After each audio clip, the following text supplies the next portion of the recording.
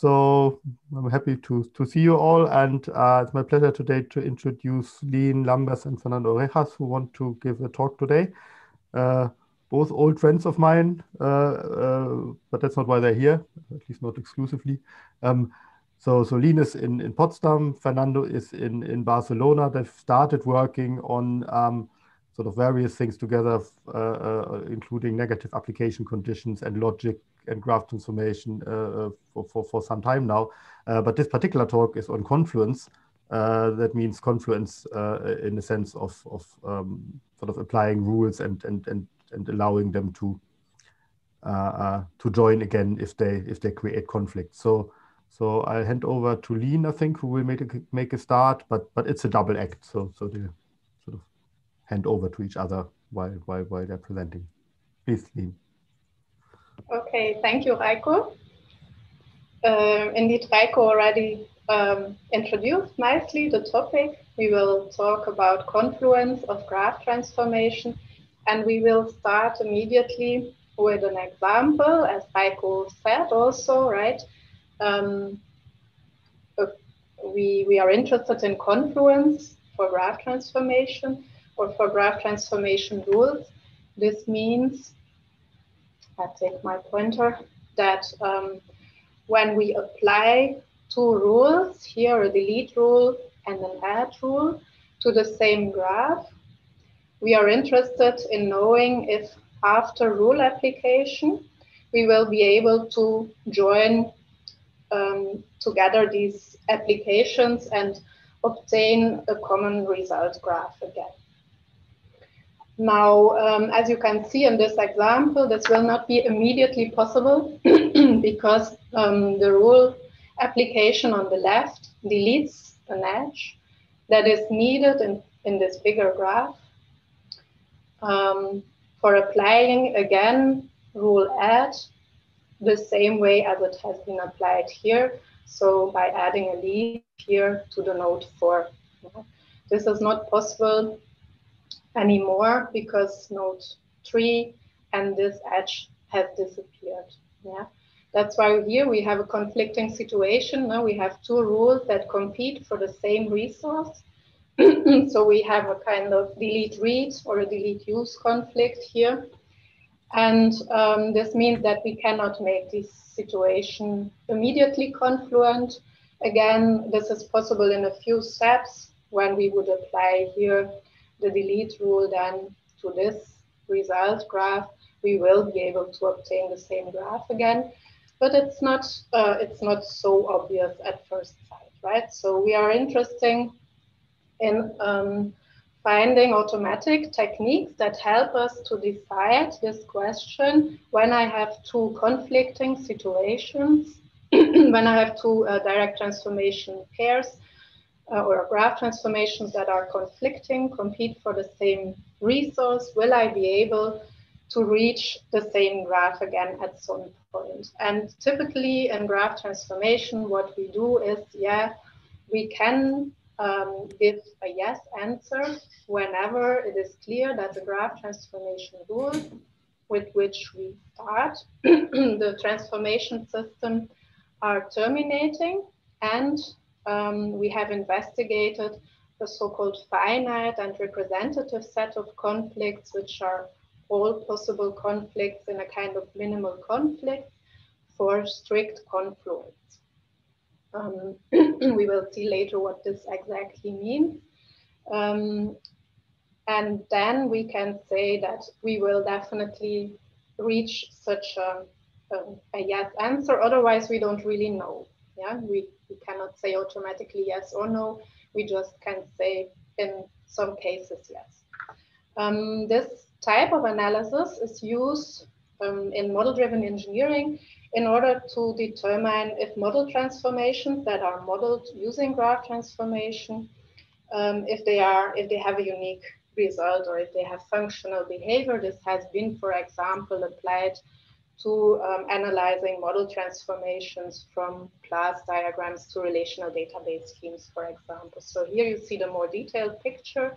Confluence analysis and graph transformation typically consists of termination analysis. And then um, this is the part that we will um, talk about today, um, about um, yeah, analyzing that a finite and representative set of conflicts is um, strict confluence. So when we find this, these confluence situations for conflicts in a minimal context, we will be able to say that the whole system is confluent and we will have functional behavior. Now, as you have seen, a key issue is that we need this finite and representative set of conflicts in order to be able to give this yes answer in confluence analysis. But um, just analyzing um, conflicts as a whole and understanding how these conflicts arise at all is a topic, a research topic for yeah for itself, and uh, can be applied to different use cases. So there we are not really interested in seeing that a conflict really is going to be confluent. We just want to know where are the conflicts hidden, so to say. When can rules compete for the same resources? And why can this happen? And this can, for example, be used for detecting conflicting requirements, for example, in software engineering, when we model them again, um, for example, by refining use cases and their activities with graph transformation rules. So then the idea is to again compute this finite and representative set of conflicts for given graph transformation rules, um, and then inspect usually manually this set in order to really understand, okay, which type of conflicts can occur in my system and is it natural that they occur or not? Uh, if not, I can maybe repair my rules.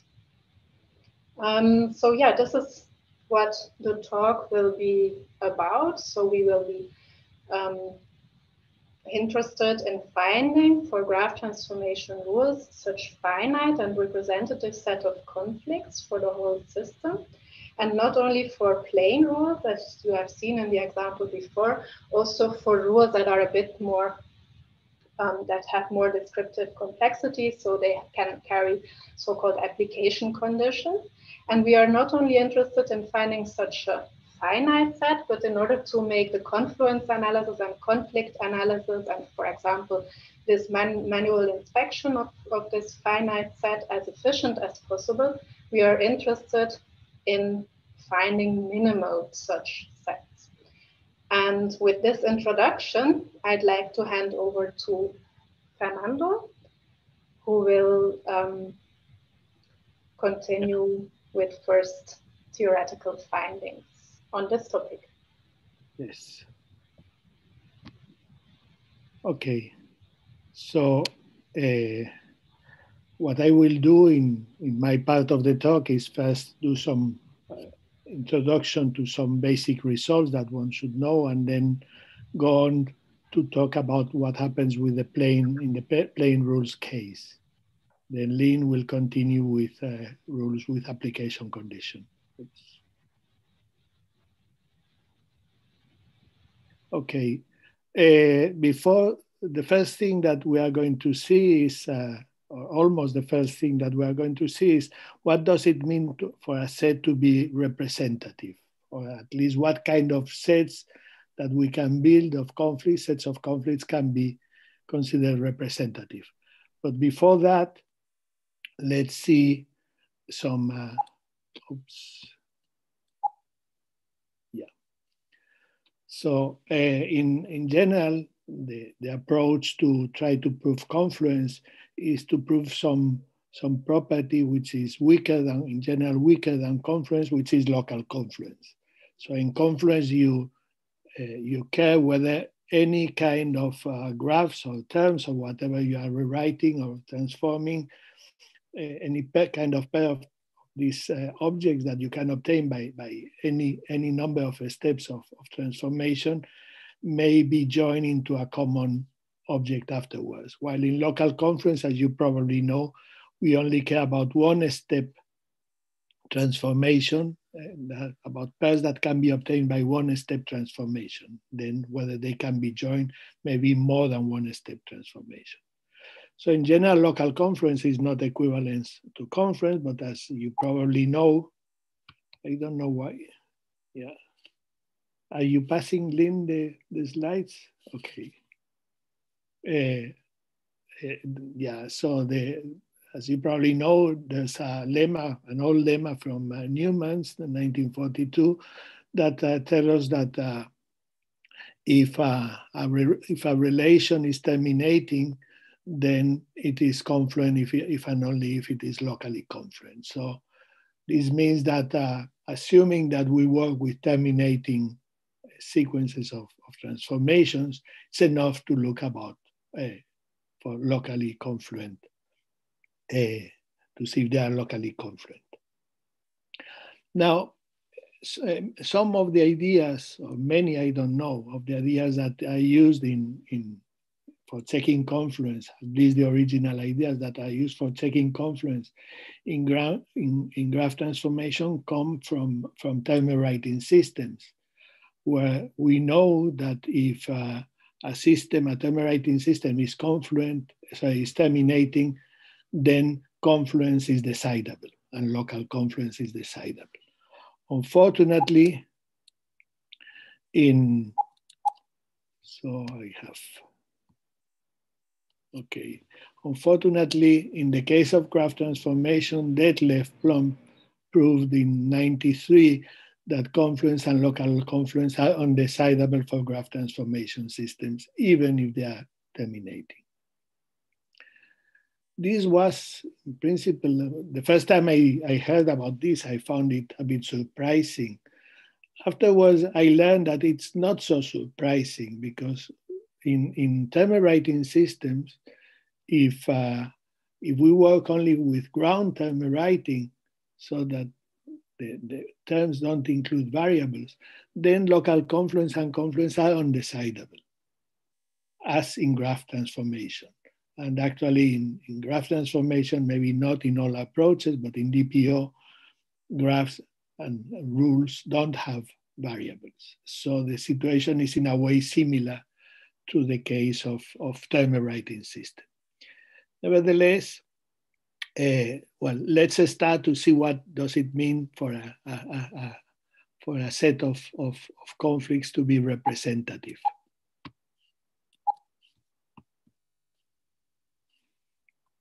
yeah, uh, well, before that, sorry. In order to see, to study uh, conflicts and so on, so one kind of, of characterization that it's nice to know is that of parallel independence. So when you, we can be sure that there's no conflict directly. Uh, in the case of term writing, the corresponding notion of parallel independence would mean that uh, the you apply a two, two rules to a term where the application of the two rules are uh, have empty intersections, so are disjoint. So in, in, in, this case, we know that there's, there's not going to be any interference between both applications and they are going to be, they, they, they will not create any conflict. In the case of graph transformation, this is slightly more complex because we may allow not only the case where the two applications of the application of two rules don't share any uh, disjoint, they don't share any, any element, but we may also allow that they share elements which belong to the interface part of, of, of, of, the, of the application. So the part that is not that is not uh, modified by, by the graph transformation. So in this case, D1 and D2. And uh, well, the characterization or the definition of parallel independence also you probably know means that you know that two, the application of two rules is parallel independent uh, if the application to a graph G, if these two morphisms D21 and D12 exist such that they commute with the other a morphism in the diagram. And if this happens, then we know that there's not going to be that these pair of transformations are not in conflict.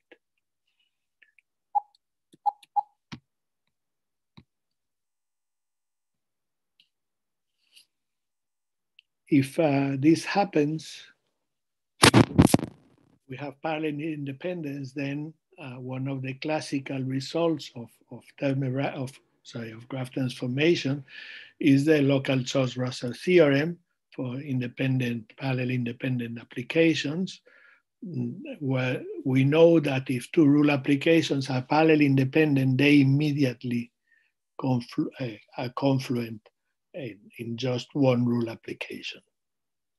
So if we apply M1 and M2 to get H1 and H2, then we can immediately apply M1, sorry, R1, not M1, but R1 to H2 and R2 to H1. So in a way that we get a common graph H.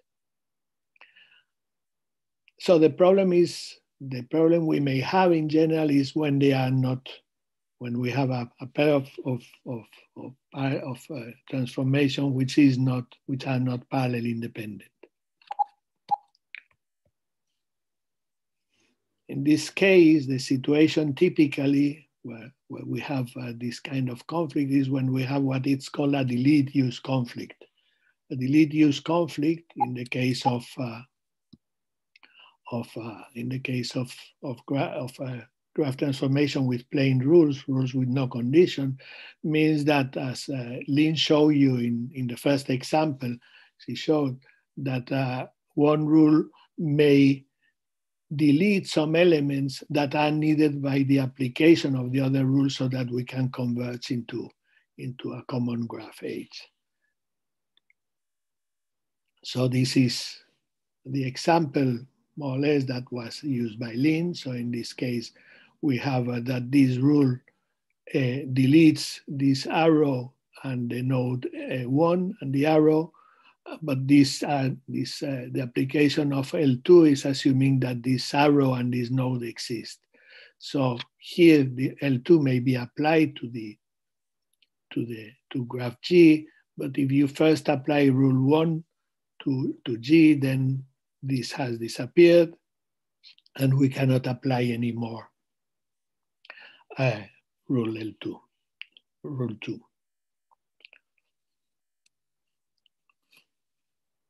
Now, in general, if we consider conflicts all, all parallel dependent pairs, we have an, an infinite number of, of conflicts. So as uh, Leen said, we would need to try to reduce this, this number of, of conflicts to a finite number. Uh, in this sense, the idea I, I, won't I won't tell you what is the classical approach, but I will tell you a bit, little bit later. But in, in, in, the sense of this talk, what we are going first to, to study is what does it mean for a conflict to be represented by another conflict? What does it mean that a conflict represents other conflicts? And the idea is that uh, we can consider that uh, that uh, a certain pair of, of transformation, uh, G to H1 and G to H2, represents another, another pair like uh, G prime to H1 prime and G prime to H2 prime. If we have a, a, a morphism that we call an extension morphism, that in a way embeds the first pair of transformations into the second pair of transformation or extends the first pair to the second pair of transformations. If this morphism made is uh, uh, injective, is a monomorphism, then we call, we say that this is an M extension. If it's just a normal morphism, an arbitrary morphism, then we call this an extension. So if we think that this is the idea or a possible idea for a, pair of transformations to represent another pair of transformations, then uh, that uh, that a set of transformations represent another set of pair of transformations can be defined as a, with a notion of completeness or M-completeness. The idea here is that uh, set S is complete with respect to another set S prime if uh, every pair of transformations in S prime has a pair of transformation in S that can be extended to the second pair. So that uh, there is this transformation H1, H2 that uh, can be extended to H1 prime to, uh, to H2 prime. We can see that uh, this notion is a reasonable notion of representing uh, of representing transform pairs of transformations and in general conflicts because uh, one can show the following confluence or local confluence theorem that tells us that uh, a transformation system is locally confluent if every conflict in a complete or M-complete set is strictly confluent. So this, this theorem was uh, proved by the first time, not exactly in this formulation by Plump for hypergraphs, and then it was extended to other kinds of graphs by Ehrig, Habel, Palmer, and Prange, and then uh, uh, to arbitrary M uh, to arbitrary M complete uh, or complete systems, in this case M complete, by this more recent paper. So this means that if we work with this notion of completeness or M completeness, we can have a notion of representative, of representativity. So here we have this overview where now we have uh, expanded a little bit the what we had in the overview, which was in the original overview. Now we have two kinds of uh, things that we have to prove or to check is uh, whether for plain rules, rules with NACs and rules with ACs, we can find finite and M complete set of conflicts and whether they are minimal. And similarly for completeness.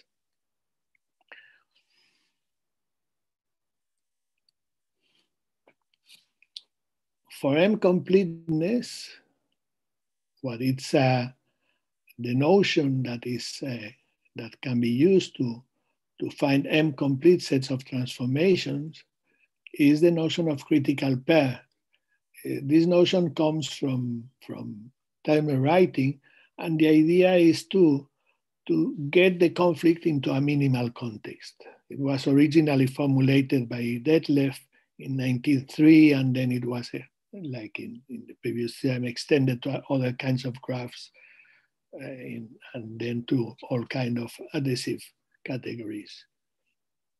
And uh, the idea here, so the idea, as I said, is to have a minimal context, and this can be obtained by when you have a, a, a dependent, a parallel uh, dependent transformation, uh, to ask the, the, the, the graph here, K, to be, and morphism M1 and M2 to be these two morphisms to be jointly epimorphic. So that this means that every element of K comes from L1 or from L2, or from both, obviously. So this is the original notion of, of critical pair for graph transformation rules without conditions.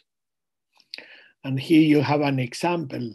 So it's, uh, if you remember the previous example that I used, that was the, the example that Leen used initially, uh, in that in the graph G that we were using, we had many more things. So if we just restrict to the minimum kind of, of the minimal uh, kind of, of elements, the minimal amount of elements, which is uh, just making this M1 and M2 to make uh, to be uh, uh, epimorphic, uh, jointly epimorphic, then we get this critical pair. So the critical pair in here would be this all this, this graph, all the, the two pairs of transformations.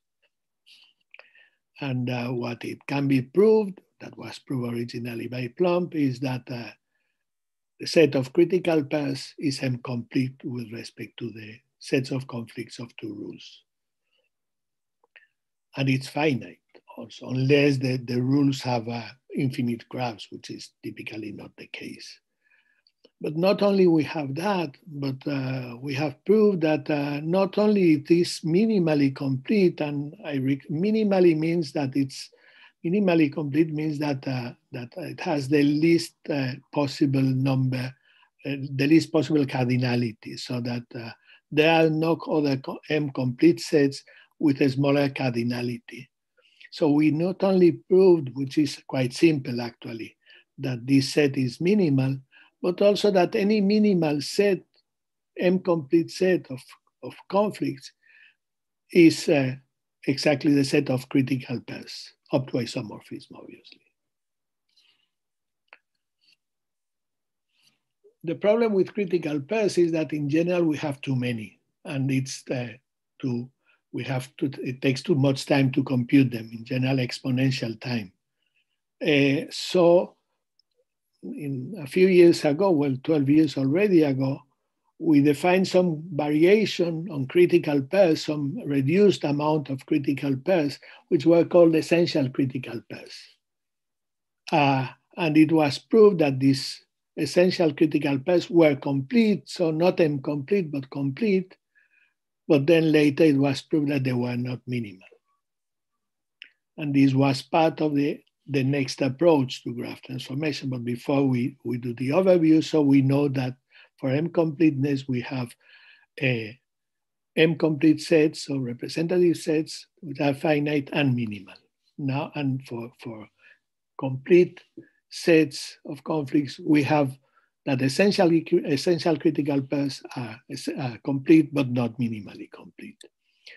So the idea to try to even reduce more the set of conflicts that one has to inspect to check for confluence uh, came from, in a way, category theory. So in category theory, in general, when you want to have some kind of notion of minimality, you, you use initiality. So this is the notion of initial conflict. So a, pair of transformation is initial or M initial with respect to another pair of transformation if two conditions hold. One is that TP prime is an extension of TP. And the other one, and here comes initiality, for every other TP second or double prime uh, that can be extended to T prime, there is a unique extension or M extension from TTP to TP. Uh, second such that H is the composition of H prime and H second. And then a conflict is initial if the if uh, its own initial uh, transformation, its own in, a pair transform, a conflict is initial if it's its own initial conflict. So this in this case, in this example, you can see that the critical pair that we have built before is an initial conflict. But for instance, this other critical pair is not an initial conflict because this conflict, uh, well, the conflict would be the, the, the, pair of transformations, but, but the, from this, this graph can be embedded into this one via this morphism that maps uh, the nodes two and six, two, four, and six into a single node. So this is this would be one of the critical pairs that we wouldn't have to, to look at if uh, if we would work with initial conflicts instead of with uh, critical pairs. A problem that uh, we found was that uh, in this original paper about initial conflicts, we were able to to prove that typed graphs have initial conflicts, but it's not ensured that we will have initial conflicts for any arbitrary category, adhesive category. Fortunately, Azzi, Corradini, and Ribeiro proved, provide some sufficient conditions that ensure that almost all reasonable M-adhesive categories of, of, of, uh, of graphical structures uh, have initial conflicts. And what one can prove then is that the set of initial conflicts is complete with respect to the set of all conflicts for two rules P1 and P2. This was proved in that paper introducing initial conflicts.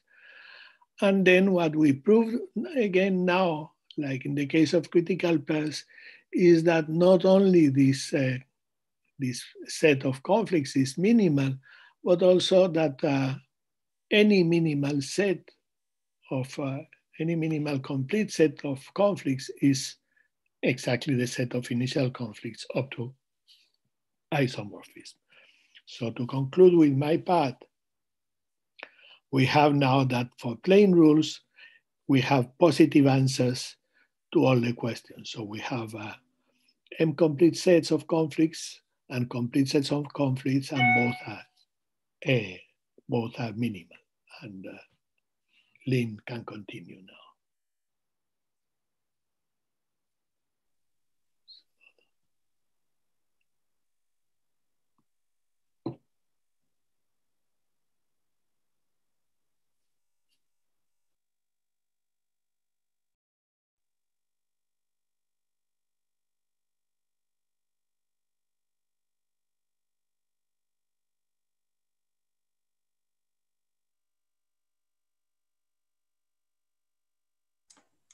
Uh, pardon, Leen, uh, I think you are you are muted. Could you double check, please? Does it work now? Yes, uh, thank you. Okay, thanks. Um, I was having a conflicting message here. Um, my screen um, said that uh, I'm I'm not muted, but my other device said that I'm muted. Um, okay, let's see if I can find the pointer and then I'll start with my part. So yeah, we are we are going to uh, see what now happens for the case of application conditions. And we will start immediately with the more complex application conditions uh, that, um, as shown by Habel and Pennemann in 2009, are equivalent to first order logic on, on graphs. And that's because they are able, these application conditions, to require um, some additional uh, conditions that need to hold for the matches of a graph transformation in the sense that they can work with, um, with existential and for all quantification in the sense that they can require um, for another pattern to exist in addition to the left hand side, of course. No? And then for this additional pattern that one in addition um, looks for, some other condition again should hold. And this is why they were called in the beginning also nested application conditions, no? because we are we can yeah start when using these existential uh, quantifiers to nest conditions into each other and also to combine them with the usual logical connectives. Um, so what does it mean for such an application condition to be satisfied. So you can imagine that this here is a match into a rule G from a left-hand side of a graph transformation rule, then an application condition, such an existential one as this one here, is satisfied whenever one can find a morphism that finds this additional pattern that I was talking before um, about, and then the, the this inner condition is satisfied by um, the morphism that um, makes sure that this additional pattern exists. So this is how satisfaction is yeah, defined for these um, um, quite complex application conditions.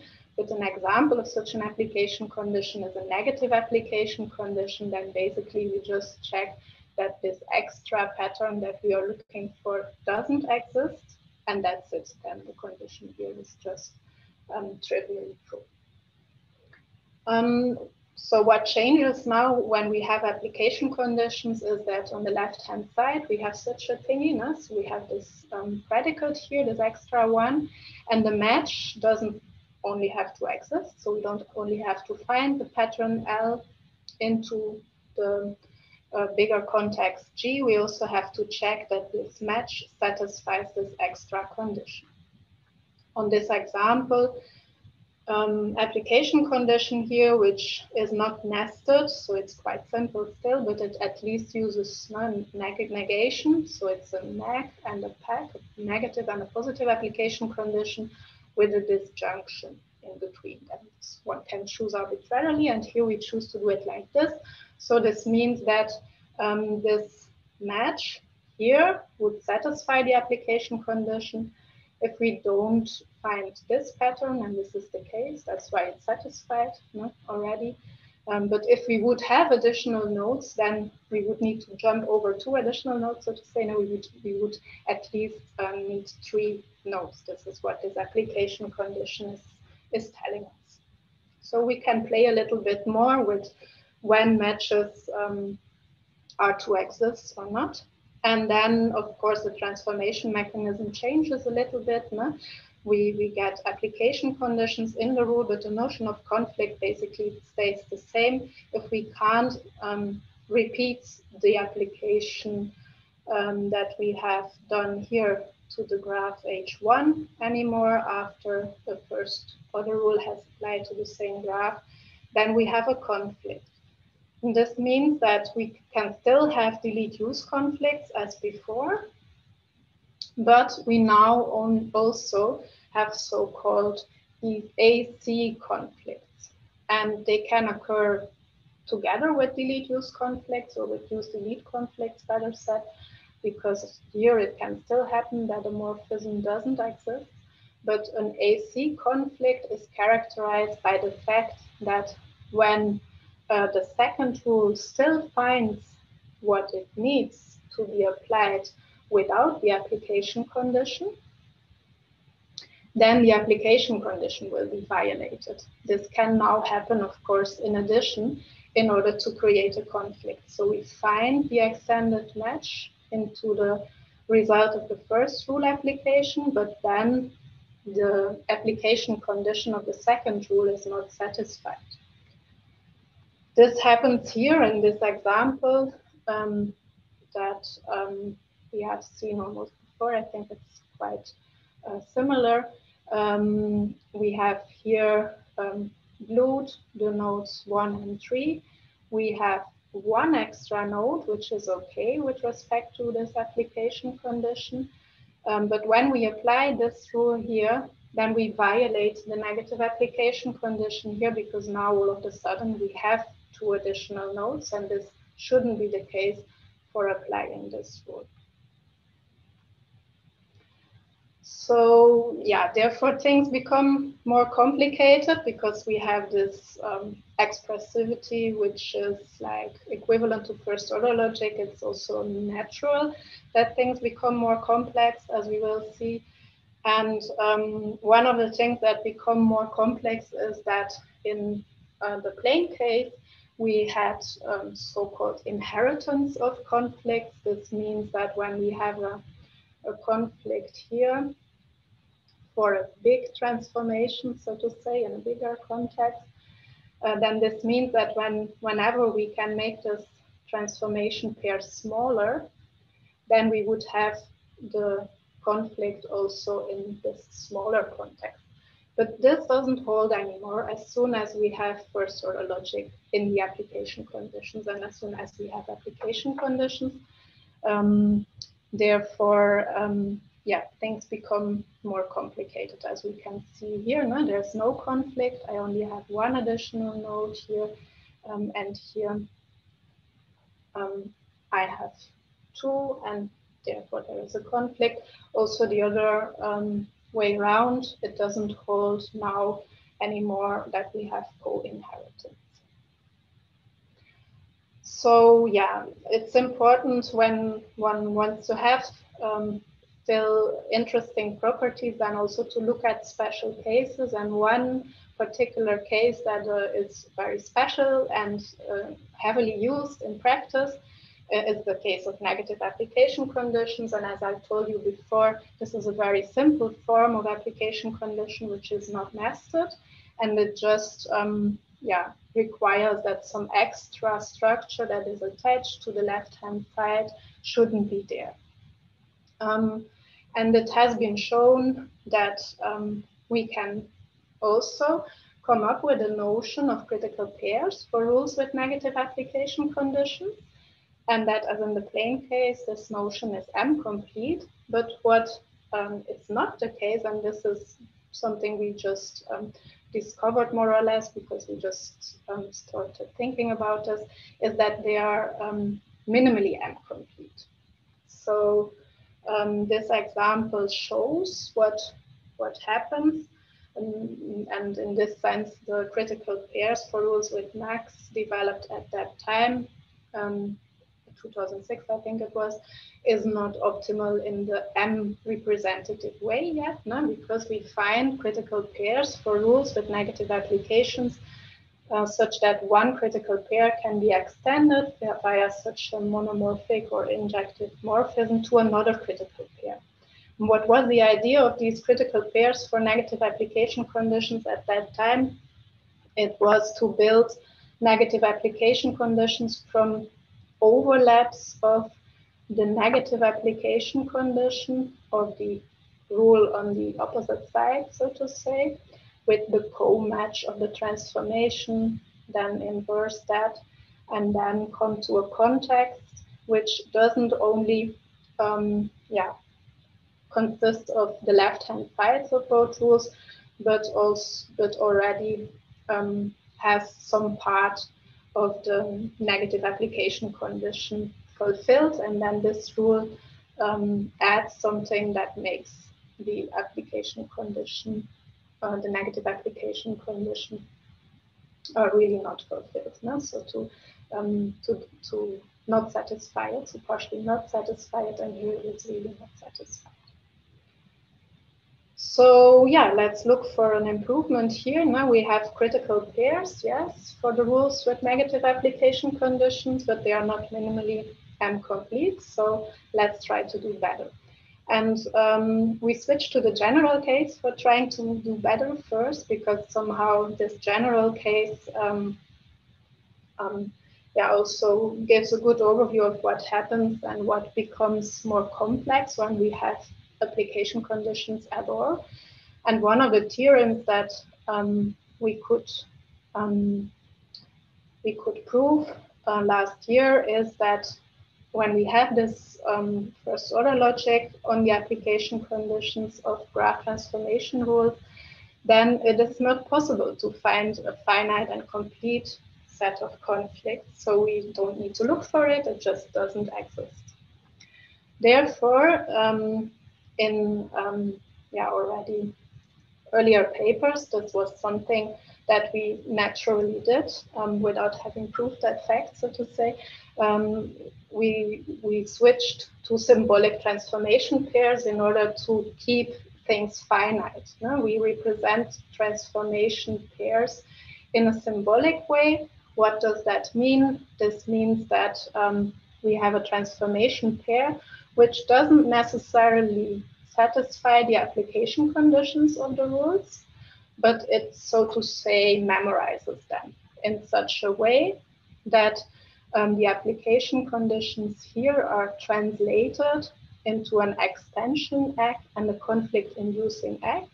What does this mean? The extension AC means that we shift both application conditions to a minimal context again for keeping things finite. No? And then it expresses that whenever we would extend this minimal context in such a way that the extension AC is fulfilled, then um, we know that the matches for this extension will satisfy the application conditions. So that, that's, that would be good. Um, and then there is a conflict inducing AC, and this is useful when we are looking for extensions that are conflicting, because this one is fulfilled whenever we extend this minimal context into a context where we will have a conflict. So what this condition then um, expresses is that either we have a delete use conflict or we don't have a delete use conflict and we, we can um, shift this application condition that shouldn't be then fulfilled for the extended match to this conflict inducing AC. That's the basic idea. On the example, um, we have computed this for you now because it's a bit, um, this can be automated, but um, it's a bit tedious to manually um, come up with these um, shifted application conditions. This one, the extension AC for this example that we had before looks like this and now expresses that whenever we extend our transformation with a match satisfying this application condition, then we will um, get um, valid transformation pairs satisfying the application conditions. So now this one expresses that we may um, we may not have here uh, one additional node because then we would violate already the negative application condition. I simplified the application condition here a bit with respect to the former example. Um, yeah, and so on. So the conflict-inducing AC then expresses that whenever we extend, for example, just by the identity, then we get a conflict. And this is the case. No? You can see this transformation pair is not only symbolic um, or cannot only be seen as a symbolic transformation pair, it is also a concrete um, conflict already um, because here um, we have an extended match that doesn't satisfy the negative application condition. So this is how we start um, working and computing with application conditions, conflicts, the notion of conflict um, in a symbolic way. No? And then we can start talking again about finitely representative sets of symbolic transformation pairs now. Um, and what does this mean? And this is just a generalization of the completeness that we have seen before. Um, we just need to make sure that the extensions that we have you know, for, for reaching com com completeness um, for the set of symbolic transformation pairs that we have now um, are um, defined in such a way that they satisfy these um, extension and conflict inducing application conditions if we want to have completeness for sets of conflicts. So yes, then um, everything works naturally or um, just continues naturally as before. We just always, in addition, have to think of the application condition and as soon as we have uh, such a complete set or such an M-complete set of symbolic transformation pairs now um, with respect to all conflicts that might occur, then um, we need to make sure that this finite set satisfies this extra condition, which was called strict confluence in the plain case. And now we have strict AC confluence. The reason is simply that now we have to make sure that the solutions that we find for our um, critical pairs no? or symbolic critical pairs, as we will see in a minute, that they um, need to satisfy the application conditions of the strict confluent solution that we find. So this means that we gather all the information that we have for the symbolic transformation pair, which um, is um, the conflict inducing AC and extension AC, and then we check if this um, condition implies that the solution that we have found, the strict solution that we have found to make um, the system locally confluent will be really confluent uh, because the application conditions that are in addition present now need to be satisfied. So yeah, in taking this idea, we can now, as in the plain case, again, define symbolic. Now we can define critical pairs again, no? following the M um, completeness notion or M representative notion, just in a symbolic way. So we take symbolic transformation pairs that do not necessarily need to satisfy the application conditions that are around in the rules now but they have to, as in the plain case, be jointly epimorphic because we have to keep the set as minimal as possible. And um, we have to make sure that in order for them not to be superfluous from the beginning, that there exists at least one conflict that we can deduce from such a symbolic critical pair. Here is an example of a symbolic critical pair um, for a pair of rules, here just with a negative application condition again to keep things simple. Um, yeah, and um, as you can see, this um, this is a critical pair because we have a jointly epimorphic situation here. One comes from here and three comes from there. We do not necessarily need to glue anything. Um, we still get a critical pair because um, we have these AC conflicts. No? And um, for an AC conflict um, to appear, it is enough that these extended matches exist and one of them doesn't satisfy the application condition. And here, this is the case um, already um, for the symbolic critical pair, but it could also happen um, with further extensions. So now we have symbolic critical pairs, and uh, it was shown that they are M-complete, and it can be shown similarly as in the plain case that they are minimally M-complete. So we can fill out our overview table, um, and now um, we know here that we definitely cannot find a set of conflicts that are concrete, no? but we can find symbolic critical pairs that do more or less also a good job. Um, they are just a bit more abstract, maybe now, because they they have these application conditions, this conflict and extension application condition that express a lot of information also in a symbolic way. Um, but they are minimally M-complete, so that's good. Um, let's have a look if we can also come up um, with a kind of um, um, yeah generalization or improvement also because we do not need to require that the extensions are monomorphic and then we can maybe even reduce also these symbolic sets of transformation pairs and this was indeed possible to do that uh, the only thing that we needed to add was also again relying on the idea that now we do not necessarily have only delete use conflicts, we also have conflicts that arise when both morphisms here exist. So we get new initial transformation pairs, if you will, that we need to take care of. And these are exactly those that consist of um, just, as in the example, just uh, putting L1 and L2 disjointly together because all the extensions will be parallel independent in a plain way, but they still might um, violate the application conditions in some way. This we express with the conflict inducing and extension AC. Yeah, so we, we have this symbolic information there, but on, on the structural transformation pair level, we use the initial parallel independent transformation pair to express that we have an AC conflict and not a use conflict. And then we um, are there already with the symbolic initial conflict. So rules with application conditions that either consist of an initial conflict as before, as in the plain case, these conflicts are still there, or when we have an AC conflict, which is not connected to any use conflict, then we can represent it by the initial parallel independent transformation pair together with the information that is of course, memorized here.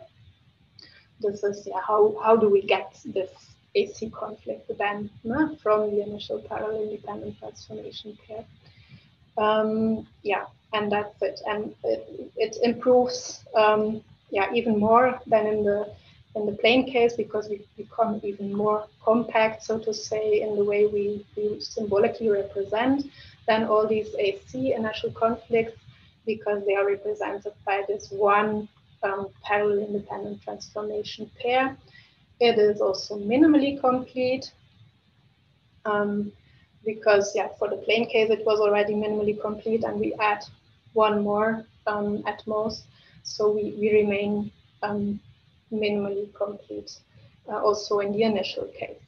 Um, we see here one example of such a symbolic initial conflict. In fact, the symbolic transformation pair that I've shown you before was already such a symbolic initial conflict. And as you can see here, no, there exists concrete conflicts with um, uh, AC conflicts that then um, can be represented by a not um, monomorphic morphism um, with this unique initial parallel independent transformation pair. So the table becomes filled, becomes more filled, um, and yeah, um, this means that now um, we have here a similar situation as above.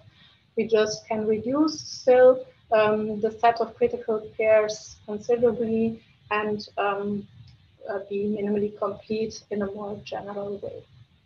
So not using injective extensions, but general extensions. Now the question still remains when we look at this overview, what happens here? Now, how can we make this minimally M-complete? Maybe in a concrete way, because here we are symbolic. And do initial conflicts exist for this case? or not, real concrete ones, not symbolic ones. And we might ask this also here, the, do there uh, do special cases of application conditions or, or rule pairs exist where we come again to a concrete uh, set.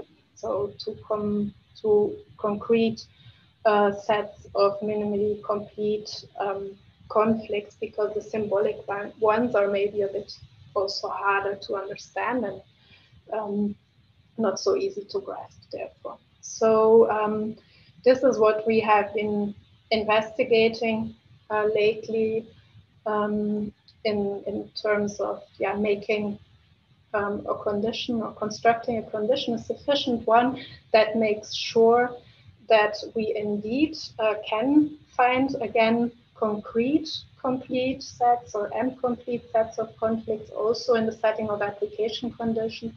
And this happens when these um, conflict inducing and extension ACs show a certain type of regularity that we can discover automatically with automated reasoning techniques for graph properties.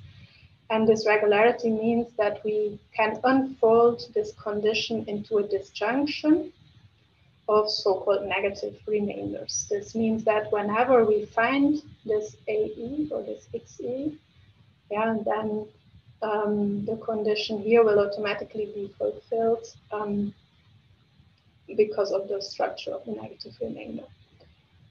I'll go a bit quicker now because it becomes more technical and I also want to conclude a bit with, with going over related work. Um, ah, it's snowing in the meantime here. um, yeah, so in this case, we can um, obtain finite M-complete unfoldings or M-complete sets of concrete conflicts, not symbolic ones anymore. So this is interesting. We just need to check if the applications that the application conditions that we have um, on the initial conflicts, the symbolic ones, show a certain type of regularity. And luckily, the negative application conditions show this type of regularity because when we shift these types of conditions onto the conflict inducing AC, then we will see that we indeed get a disjunction um, again of um, positive application conditions that have a negative um, application condition or a set of negative application conditions again, such that um, as we already knew in the negative application condition case, we indeed get um, M-complete sets, concrete ones of critical pairs. No? Um, this is an example here, yeah, that we can find by unfolding the symbolic initial conflict. Um, and yeah, therefore, um, the NAC case is, for the NAC case, it will be doable no? to, um, to find, again, a concrete setting that we can investigate um, but we still have the problem that we, we, knew that before already. We want minimal sets um, and we want also these initial uh, conflicts uh, that are not symbolic. And we can address this issue um, by reducing sets of concrete transformation pairs um, and getting rid of all the ones that are, so to say, um, still in the set um, and that can be extended to each other. This is the basic idea. And as soon as we have an M-complete set of conflicts, as in the case of negative application conditions or regular application condition, conditions, this means that we can build from these um, unfoldings minimally M-complete or also minimally complete sets. So this, this is why we can now fill out the table here. We can answer yes here, yes, here. Um, in the regular cases or also in the case of negative application conditions. And we can use these maximal M reductions to really um, find the, yeah, the minimally M complete sets or the minimally complete sets. Um, so this is, um, yeah, what what historically um, summarizes more or less the situation that we reach. Um, Fernando started no, with the very first, um, with referring to the very first paper of, of Plump um, on, on hypergraphs and critical pairs and, and how um, confluence um, was investigated for the first time in the, in the context of graph transformation. It was generalized to other types of transformation systems, but always keeping uh, here the M settings, so representing sets of conflicts and extending them monomorphically. And then this was generalized here for the initial conflict case to rules without application conditions and with application conditions by looking at what if um, we start playing with these extensions and don't have any um, M uh, monomorphic extensions anymore, but make them general. No? Um, and yes, this, this was done this evolution here was, was basically re repeated for the application condition case. And now we are in a situation where we know that when certain regularities hold for the application conditions, we can build M-complete sets of conflicts, concrete ones, not only symbolic ones, but concrete ones um, for the M case or the not M case. Um, so here also in the historical overview, one sees now that this switch from M representing and not M representing um, um, conflicts with M extensions or not was somehow um, a clue to, to getting to the situation we have now. Um, remembering again no, that when we generalize these extensions, then um, we can get rid of certain uh, critical pairs, um, and we can reduce the set of critical pairs that needs to be investigated as a finite and representative set of conflicts considerably to a, a smaller set of initial conflicts. Um, and now we know more or less how to do that in all cases. Mm -hmm. Um, so the, the objective that we had in the beginning of the talk, finding finite and representative sets of conflicts that are as small as possible in order to make the confluence and conflict analysis more efficient has conceptually or theoretically more or less um, been solved and investigated. Um, to conclude the talk, I would like to um, show you an overview of further related work. A lot of people have been working on, on this topic, so I, I want to at least here uh, we want to at least mention here some of that work. Um, and we summarize it a bit into different kind of related works.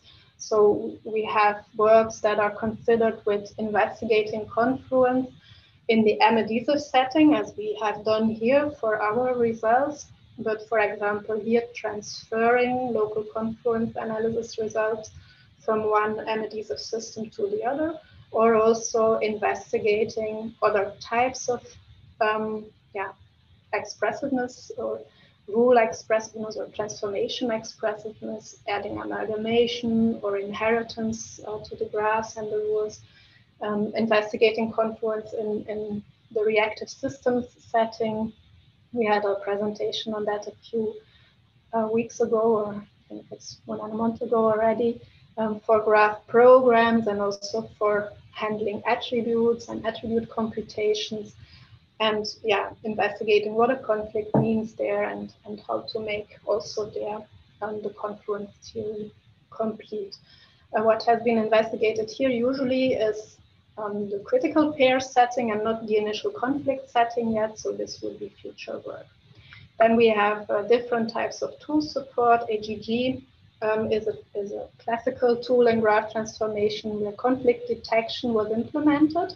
So only detecting this finite and representative set of conflicts, but not checking confluence. And this is something that not a lot of tools um, offer. I think zgraph does. Um, but usually the conflict detection analysis is of course the first step and is implemented. And in Henshin, there is even support for um, initial conflict. Um, we have zgraph, which is a tool that arises that arose in a model-driven engineering setting, and uh, VeriGraph, which tries to cope also with this M-adhesive setting in, in, an elegant way. then we have a lot of uh, related work that tries to yeah, think more about, okay, why is this uh, problem indecidable in the graph transformation case? How can we make it decidable by restricting a little bit the setting in, in which transformations um, can happen um, by ensuring that they have interfaces and, and therefore strict confluence is more or less automatically uh, fulfilled as soon as we have confluence. And we have um, here approaches that try to get rid of superfluous critical pairs, so even reduce um, more in certain settings. And then, um, yeah, we have here um, drag rewriting label transition system transformations that are special cases. So we, we try to find restricted conditions under which the confluence analysis becomes decidable or, or more efficient. Um, and then this type of work is considered basically with this conflict detection or conflict analysis case, the second scenario I talked about in, in, the beginning mainly, and tries to present conflicts in such a way that they are easily understandable and maybe also showing not, not the conflict as a whole, but only the conflict reason for a conflict. And uh, it has been investigated here that the conflict reason can even be composed of so-called atomic conflict reasons, and that that is very suitable to only show really relevant information for inspecting conflicts um, in a complete way. Um, yeah, this is the related work um, section of the whole talk. I'll uh, switch to this slide again, and I hope um, we didn't take too much time. I think it's more or less okay. Um, and I would like to thank everybody for listening, and we are happy to answer some of your questions. Hey, thank you very much, Leen and, and, and, and Fernando, of course. Um, yeah, very nice. So I, I, I really like, uh, enjoyed that, that that overview and also the, the sort of historical picture you showed um, at the end. So so we have 30 years of um, confluence then, apparently, and and and and we even have the original um, author here. So so so if he if he is still here, I think he's still here. so so that is very good. Um, I was wondering. Um, I mean, you. It looks like you sort of covered the area and answered all the interesting questions. So, so the the the obvious conclusion is uh, the obvious question is what what what comes next.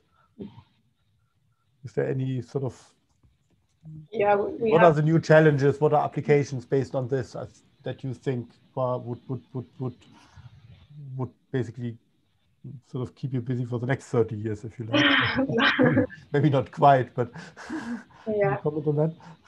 Yeah, I think, um, yeah, one interesting, if I may start answering the question, uh, Fernando. Uh, yeah, you can start. Um, I think one interesting line of work is, is this usability issue. We started working on that, I think, quite um, successfully, and it was really nice to do this work um, and and um, yeah, see that um, for this conflict analysis scenario, we can we can really think of this initial conflict as a complete, minimally complete set of conflicts, but even there, um, yeah, come up with new concepts in order to show or confront the user of such a technique really um, even with with a reduced set of information. So we don't show the user their initial conflict as a whole, um, but only a subset again of that with this method of showing only conflict reasons. This means that we just show where the rules need to overlap in order to get a conflict, more or less. No?